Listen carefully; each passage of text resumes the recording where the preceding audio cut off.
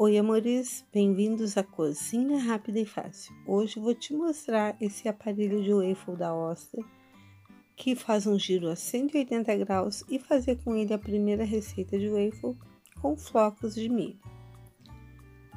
O aparelho acompanha este manual com informações de uso, cuidados, mas eu senti falta de alguma receitinha para teste, portanto, fui testar com uma receita que encontrei aqui as especificações como o tamanho do aparelho, peso, voltagem, eu vou deixar para vocês aqui na descrição do vídeo e nós vamos ao que interessa, tá bom? Bom, o aparelho consta de duas placas com favos que giram a 180 graus para que a massa espalhe de maneira uniforme e cozinhe de maneira uniforme também. Então você pode girar a máquina e fazer com que ela doure de ambos os lados sem ter trabalho algum. Aqui possui luzes indicadoras. A luz azul acenderá quando a máquina já estiver pronta para receber a massa.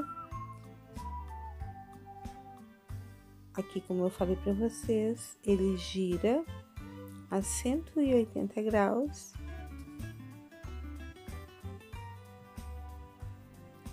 é uma máquina robusta, porém leve, não é aquela máquina difícil de manusear. Tem uma trava onde você vai colocar o ingrediente e não vai ter perigo de derramar no momento que virar. Os favos são favos grandes, que eu achei bem bacana, porque quando coloca a calda permite que acumule bastante calda, que é o que deixa mais gostoso. Antes do primeiro uso, lavei com detergente neutro e uma esponjinha de leve e agora estou secando com papel absorvente para que ela fique prontinha para ser usada e não tenha aquele cheiro que vem da fábrica e aquele sabor, sabe?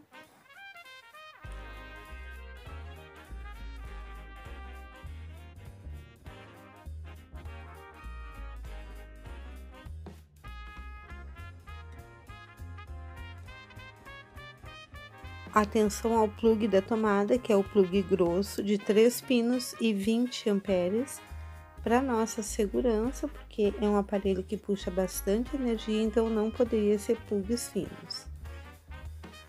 Na tomada, a luz branca vai acender, vou mostrar aqui para vocês no escuro, ó. E assim que ele estiver pronto para o uso, a luz azul vai acender automaticamente.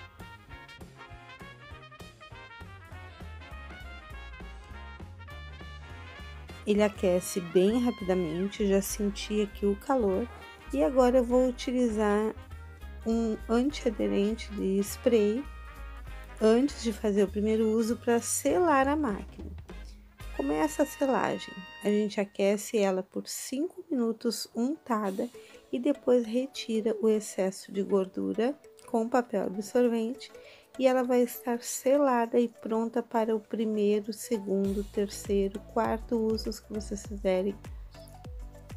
Isso aí vai fazer com que o antiaderente tenha mais durabilidade. Essa selagem feita em casa permite à máquina um uso melhor. Um, é como se fosse assim uma manutenção do aparelho, algo que não é tão recomendado muitas vezes, que eles esquecem de falar, mas que eu acho bem importante e eu faço em todos os meus aparelhos que contêm um antiaderente. Então vamos à primeira receita? Eu vou fazer aqui o waffle de flocos de milho, com aquele milho flocão, sabe? Que a gente faz fubá. Então vou utilizar uma xícara de flocos de milho, meia xícara de amido de milho,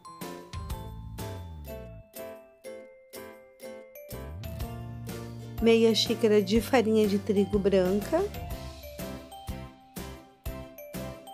e vou misturar com fouet até que fique tudo bem homogêneo.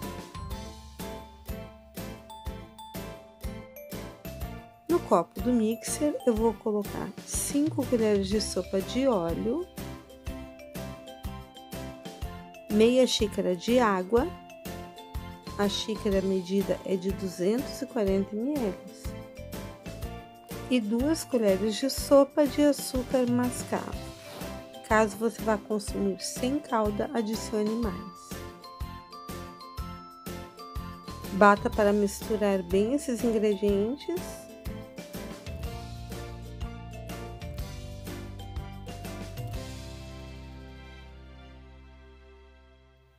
E agora é só adicionar aos ingredientes secos.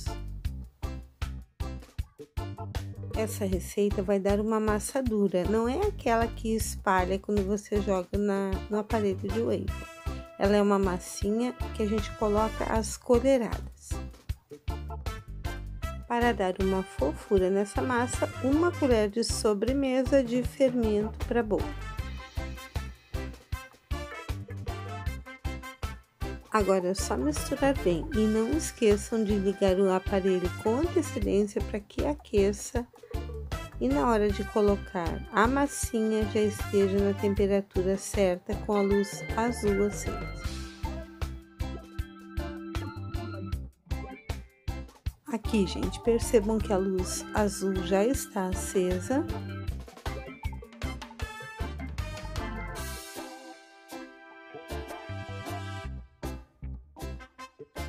Eu vou pegar colheradas dessa massa e colocar no aparelho já pré-aquecido e levemente untar.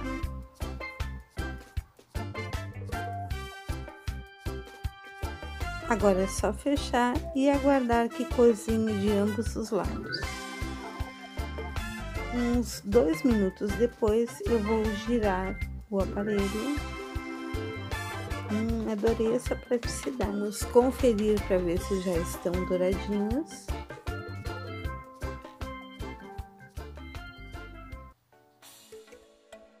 Eu vou deixar mais um pouco para que ele fique bem dourado, mas cuidem para não queimar.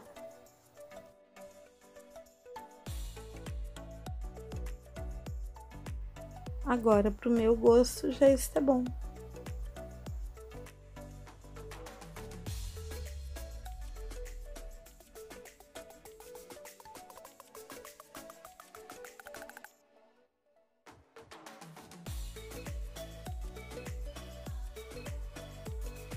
Repita o procedimento até que terminem todos os ingredientes. Agora não é necessário untar, porque a máquina já está previamente untada e aquecida.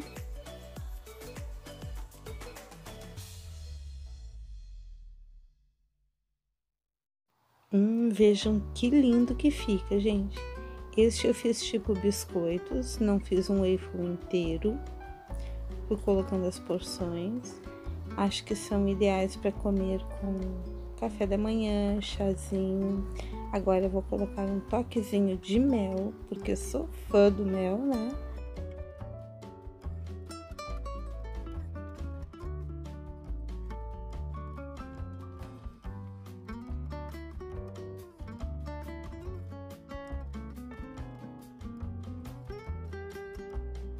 Hum, agora sim ficou maravilhoso.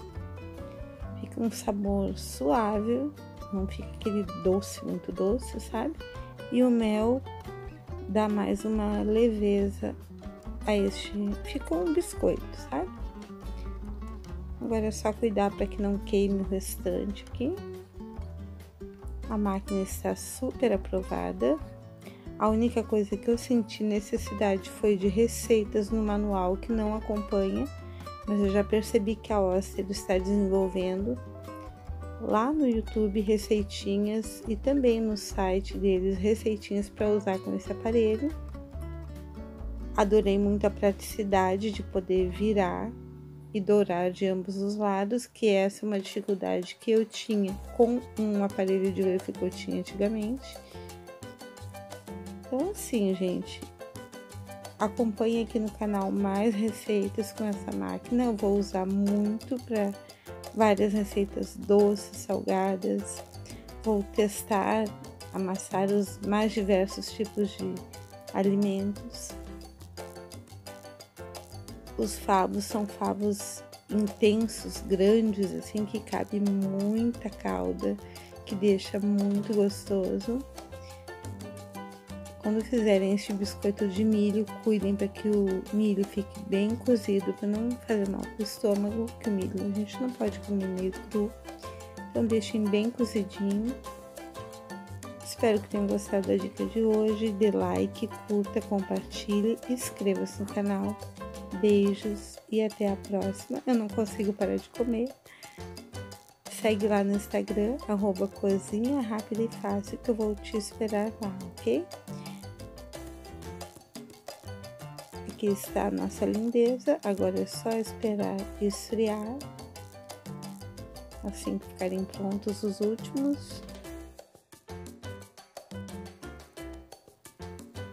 Hum, gente, agora ao final do vídeo eu vou mostrar para vocês como eles ficaram no dia seguinte, que no caso é hoje, né? Para que vocês vejam que eles continuam deliciosos. Eu não sei bem a validade, porque é a primeira vez que eu faço, mas eu garanto para vocês que de um dia para o outro fica perfeito o que eu acabei de experimentar.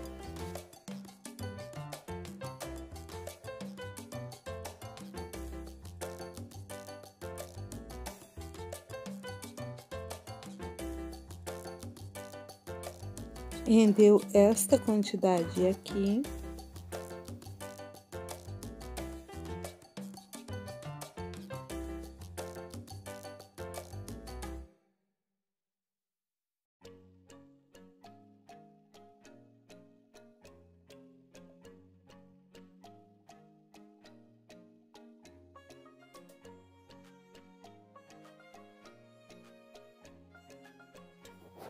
Eles ficam crocantes por fora e macios por dentro.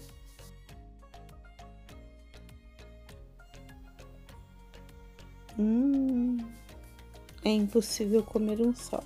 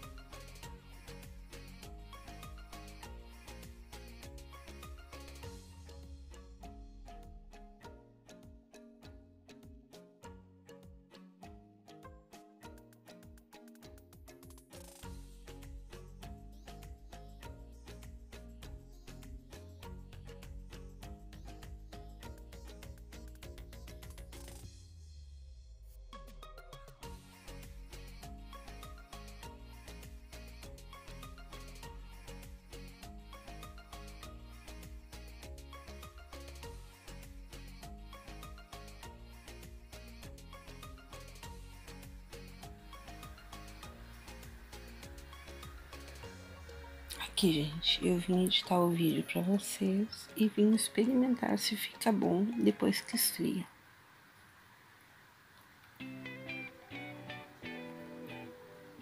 Hum, hum.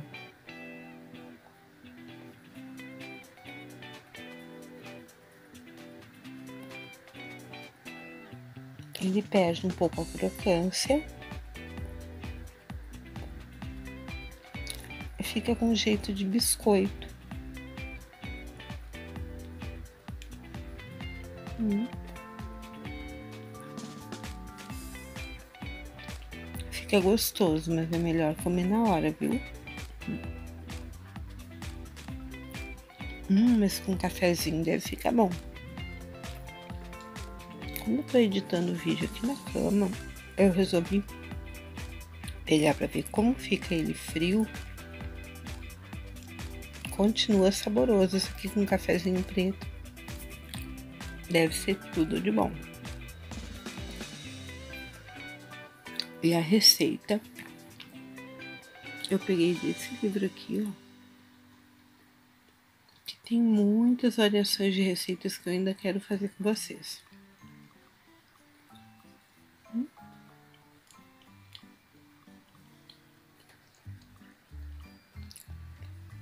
Uma delícia, gente.